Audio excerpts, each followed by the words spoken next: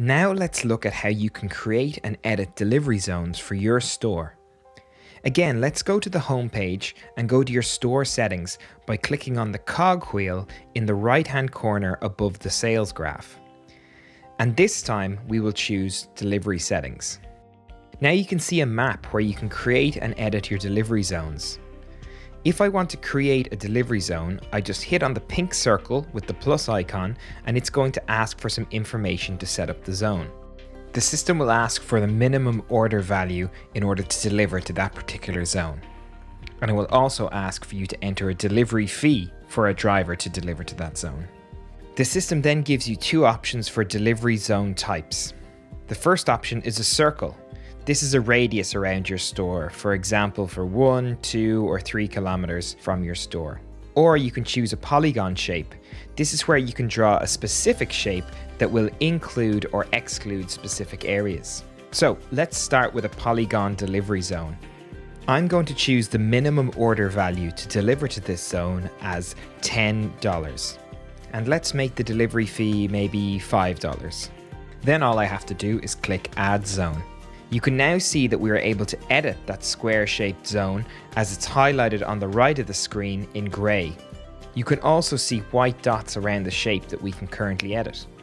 If I want to edit any of the other delivery zones, I can simply click on the zone in the box on the right hand side of the page and quickly make changes to the minimum order value to deliver to that area or to the delivery fee, as well as being able to access the map and change the radius or shape of the zone. As you can see, any changes that I make are saved automatically.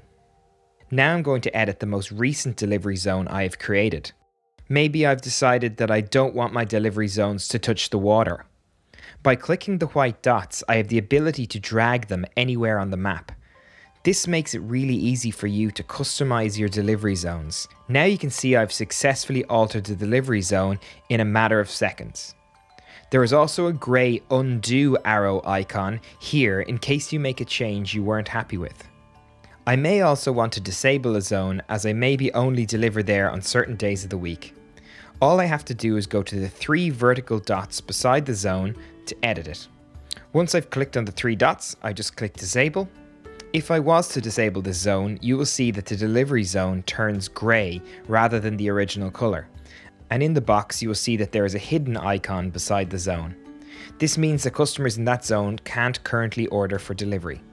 Once you are ready to enable it, click on the three vertical dots again and click Enable.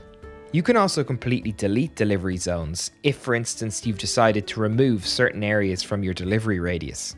To do this, click on the zone, go to the box on the right hand side of the page. You will see it in grey when it's editable, click on the three vertical dots and then select delete.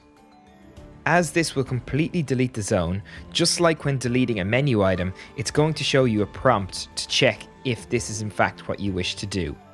You will see pressing delete will remove zone 6 for good. If you're happy this is correct, click on delete and now this zone has been deleted for your store. So now you can see how you can easily create, edit, disable and delete your delivery zones.